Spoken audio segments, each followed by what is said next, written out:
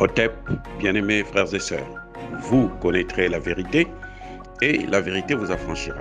Ça, c'est pas moi qui le dis, c'est la Bible qui le dit. Mais moi, je vous dis mieux. Vous connaîtrez la vérité historique, notamment celle de vos ancêtres kémites, et vous aurez une vision globale de ce que c'est que la vraie souveraineté politique. J'ajoute, vous reviendrez à la spiritualité africaine ancestrale et vous comprendrez les enjeux de l'indépendance économique. Et pour terminer, vous accepterez votre identité culturelle kémite et vous obtiendrez deux choses. La première, c'est la paix, la seconde, c'est le développement, à une condition. L'unité de toute l'Afrique noire, l'unité de tous les Noirs du monde entier.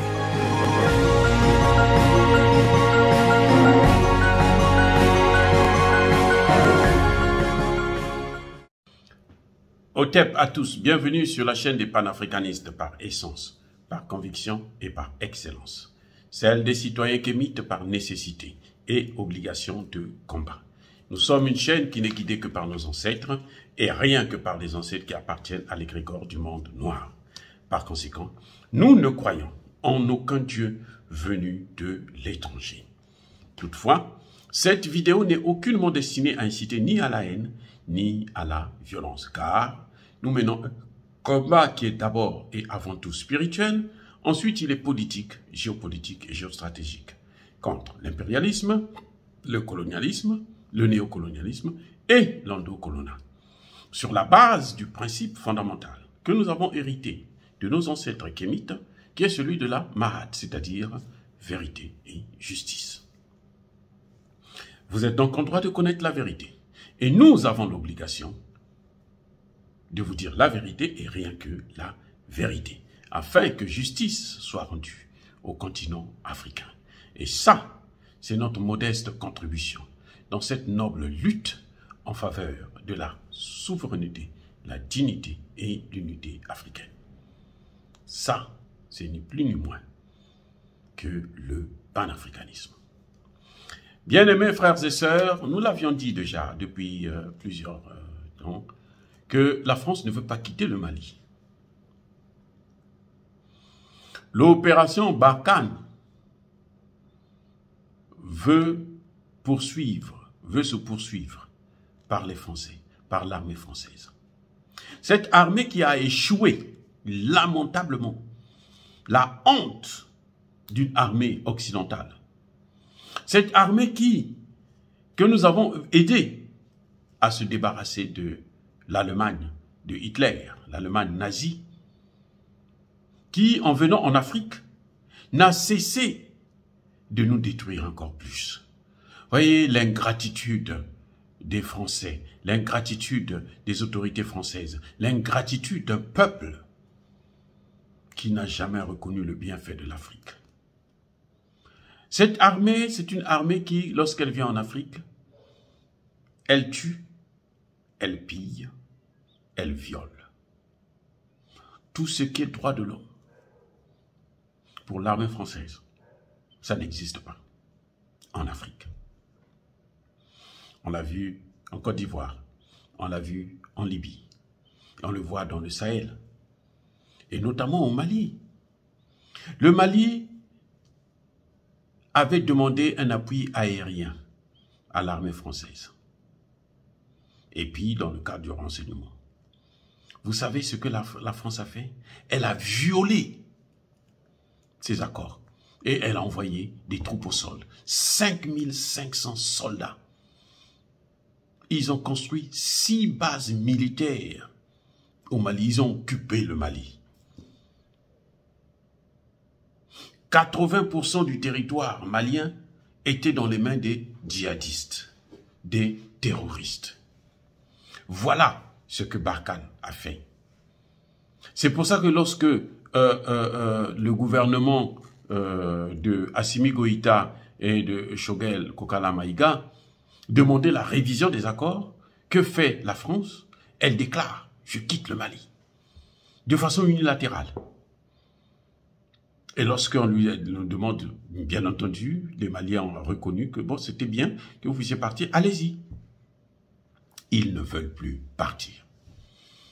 Et ils utilisent les Nations Unies pour se maintenir sur place. Comment voulez-vous que l'armée française, que la France, que les autorités françaises vont aux Nations Unies pour aller demander de soutenir la MINUSMA, la mission des Nations Unies au Mali, sur le plan aérien?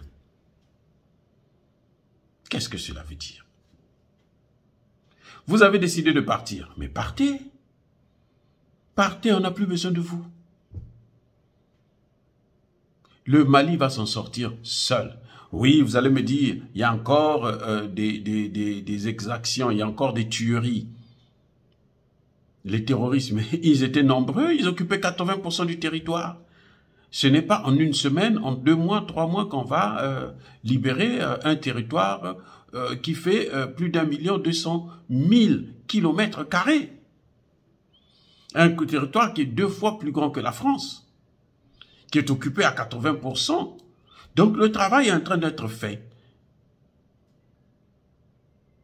Et jusque-là, il y a encore une base, celle de Gao, qui est encore dans les mains des Français, et que euh, tant que toutes ces bases-là ne vont pas quitter, le combat contre les terroristes sera un peu difficile. Parce que les Français continuent à donner des informations, puisque ce sont eux qui les ont amenés.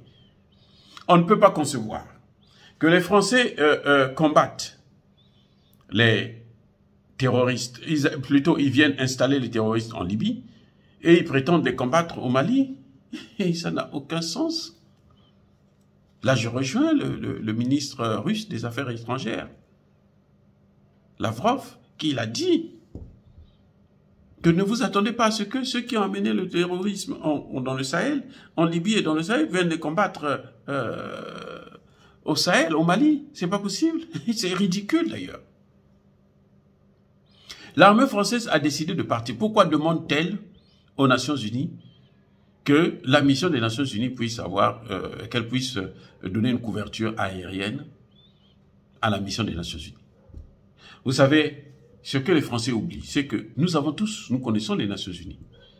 Nous avons tous travaillé, j'ai travaillé sept ans aux Nations Unies, donc je connais un peu comment ça se passe, le mécanisme des casques bleus. Les militaires des casques bleus, quand ils viennent, quand ils font une intervention dans un pays, ils viennent avec leur logistique ce n'est pas possible que toutes les armées qui sont là au Mali, à travers la mission des Nations Unies, ne puissent pas avoir un service de renseignement, ne puissent pas avoir un, service aérien. Non, ça n'a aucun sens, c'est tellement ridicule. Pourquoi c'est la France qui doit euh, euh, protéger sur le plan aérien les, casques bleus de l'ONU? Ça n'a aucun sens. Ça n'a aucun sens. Ça se fait pas. C'est ridicule. Et voyez à quel, à quel point les Nations Unies sont un instrument dans les mains des Occidentaux. C'est devenu le bras armé des Occidentaux. Quand ils veulent frapper quelque part, ils utilisent les Nations Unies. Quand ils veulent dominer politiquement, ils utilisent les Nations Unies. Ils utilisent les textes des Nations Unies. Ils utilisent des résolutions des Nations Unies que les Occidentaux d'ailleurs ne respectent pas quand ça ne va pas euh, euh, dans le sens de leurs intérêts. On l'a vu en Libye. En Libye, c'est comme ça que ça s'est passé. Ils ont décidé de ne pas respecter les résolutions des Nations Unies et ils ne les ont pas respectées. Mais au Mali, cette fois-ci, ça ne sera plus la même chose. Le Mali a dit non. Très bien. Et d'ailleurs, puisque la France, euh, Barkhane se retire, donc en principe dans la mission des Nations Unies au Mali, il devrait avoir aucune troupe française. Aucune. Ils sont, ils sont au Niger, ils n'ont qu'à rester au Niger, ils n'ont qu'à occuper le Niger de Bazoum jusqu'à ce que Bazoum quitte le pouvoir. Parce que Bazoum va un jour quitter le pouvoir, d'une manière ou d'une autre. Il va un jour quitter le pouvoir. Et là, on va régler les comptes de la France. Parce qu'elle a trop fait du mal à l'Afrique. L'esclavage, la colonisation, le néocolonialisme, l'endocolona et la recolonisation actuelle à travers les bases militaires françaises en Afrique. Non, nous sommes prêts à prendre nos responsabilités, à gérer nos pays, à gérer le continent africain, sans la France. Elle a trop fait, maintenant ça suffit.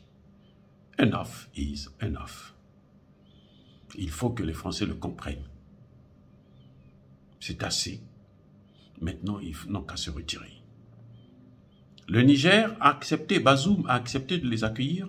Ils n'ont qu'à mettre leur base là-bas et de là-bas provoquer le Mali. Parce que pourquoi veulent-ils rester dans le Sahel alors que ce sont eux qui ont amené des terroristes dans le Sahel? Pourquoi veulent-ils? Pourquoi utilisent-ils les Nations Unies? Et j'espère que les Nations Unies ne vont pas les laisser euh, euh, revenir encore. Ah oui, M. Guterres doit prendre ses responsabilités. Le Conseil de sécurité doit prendre ses responsabilités. S'il veut continuer à être un peu, je dis bien un peu, crédible, parce qu'il a perdu toute sa crédibilité. Ce sont les Nations Unies qui ont proclamé les résultats en Côte d'Ivoire en faveur d'Alassane Ouattara. Et ce sont les Nations Unies, les, forces françaises, qui ont délogé Laurent Gbagbo et l'ont amené à la haie et il a été blanchi là-bas à la haie. Donc nous savons ce que c'est que les Nations Unies, le rôle que jouent les Nations Unies pour ces puissances occidentales. Et maintenant, ça suffit. Que la France s'en aille. Nous n'avons pas besoin d'elle pour assurer notre sécurité. Nous avons des partenaires plus, crédibles qui sont avec nous, qui nous respectent. Pas comme disait Zelensky, qui nous prend pour des otages. Non, nous ne sommes otages de personne. Nous sommes des États souverains, c'est-à-dire libres, capables de prendre leurs responsabilités et capables de choisir leurs partenaires sans l'avis de qui que ce soit. Même la résolution des, États-Unis concernant les sanctions contre les pays qui vont collaborer avec euh, la Russie ne nous regarde pas. Parce que les États-Unis, ce n'est pas l'Afrique. Dire cela, c'est inciter à la haine ou à la violence. Non. Nous rappelons tout simplement que la France n'a pas besoin de manipuler l'Organisation des Nations Unies pour se maintenir en au Mali. Vous avez vu, c'est la France qui tient mordicus à ce que on renouvelle la mission des Nations Unies au Mali. C'est la France, ce n'est pas l'Afrique. Le Mali n'en veut pas en réalité. Mais le Mali est forcé. Mais le Mali ne veut pas d'une couverture aérienne de la France. Le Mali est aujourd'hui capable de protéger les airs, l'espace aérien de son pays avec l'aide du partenaire russe qui lui a donné, vendu des armes de, dernière, euh, de dernier calibre. Et donc, ils sont prêts maintenant. Il est hors de question que Barkhane puisse assurer la couverture aérienne des missions des Nations Unies au Mali. Nous sommes une force tranquille, Yaba Kolerve, Malembe. Soyez bénis par le Dieu des Kémites. J'ai dit et j'assume.